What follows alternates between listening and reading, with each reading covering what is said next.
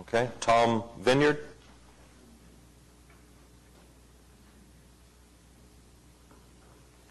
Thank you, Mr. Mayor. When Tom, I will need you to give your name and address. sorry, for the I'm sorry. That's all right. Tom Vineyard, I pastor Windsor Hills Baptist Church in Ward 3. I live in Bethany. I own a home in Oklahoma City. Um, With all due respect to Mr. White, when our nation was founded and the founders came out of Constitution Hall, an elderly lady there asked Benjamin Franklin what kind of a government they gave us, and they said a republic. He told her a republic. It was not a democracy. Republic is founded on principles. It's founded upon values. And with due respect to Mr. Shadid, although Jesus did not use the word homosexual, he did talk about Sodom five different times in the gospel. I'd like to read one of those verses to you in Luke chapter 17 and verse 29. But the same day that Lot went out of Sodom, it rained fire and brimstone from heaven and destroyed them all.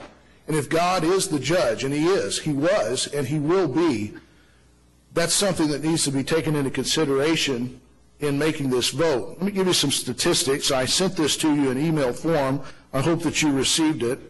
While there, are only 2% to 3% of the population that are homosexuals, they account for 60% of all syphilis cases. Homosexuals account for a disproportionate number of hepatitis cases in North America, 70 to 80% in San Francisco, 66% in New York, 56% in Toronto, 42% in Montreal. I don't think that's what we're looking for when we're looking to other cities to keep up with them. Depending upon the city, 39 to 59% of homosexuals are infected with intestinal parasites, common in third world countries. Again, I don't think that's what we're looking for when we look to other cities.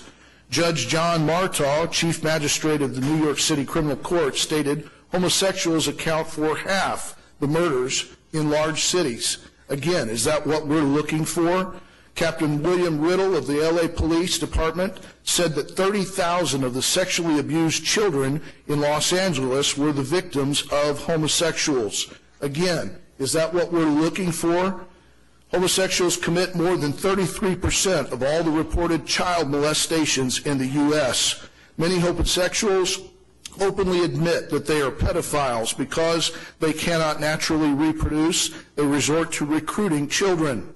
The homosexual group North American Man and Boy Love Association, NAMBLA, is a child molesting homosexual group whose cry is sex before eight, before it's too late.